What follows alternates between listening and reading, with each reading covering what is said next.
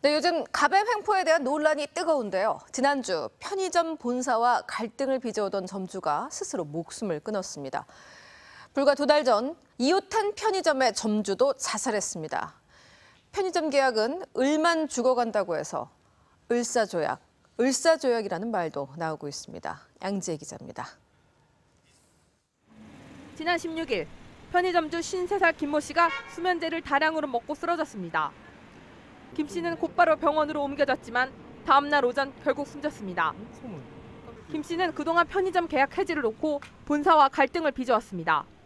하루에 뭐 얼마를 내야 되는 분이 있는데 그걸 안 내면 기자가 미치겠다고 장사도 안 내면 택지개발지구 안의 유일한 상업지구인 이곳에는 편의점 7개가 모여 있습니다. 좁은 공간에 편의점이 모여 있다 보니 그동안 제살 깎아 먹기식 운영이 불가피했습니다.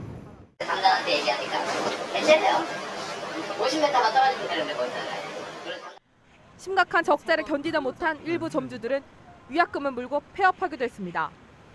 극단적인 선택을 한 사람도 나왔습니다. 불과 두 달 전에도 이곳에서 멀지 않은 편의점 점주가 자살한 것으로 드러났습니다. 편의점 점주들은 본사로부터 물품 밀어내기에 고통을 받는다고 주장합니다. 또 현금 매출을 본사로 매일 보내야만 합니다.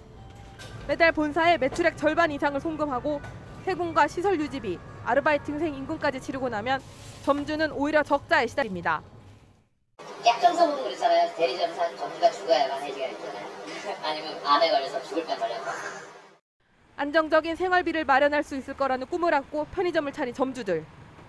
억대 위약금 때문에 마음대로 폐업도 못하고 날이 갈수록 늘어나는 적자의 수렁으로 빠져들고 있습니다. TV조선 양지혜입니다.